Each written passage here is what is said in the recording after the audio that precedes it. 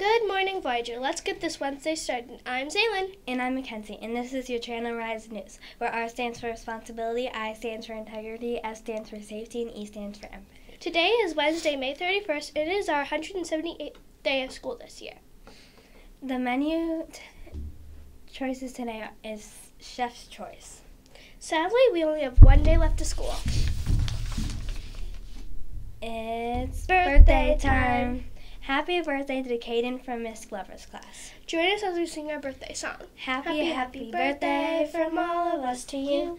We wish you happy birthday and lots of IUCs too. Woo!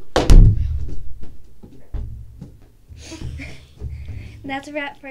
Oh wait, When do you go at red and stop at green? I don't know when. When you're eating a watermelon.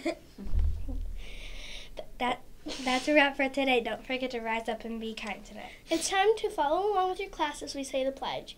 Have a watermelon Wednesday. Bye.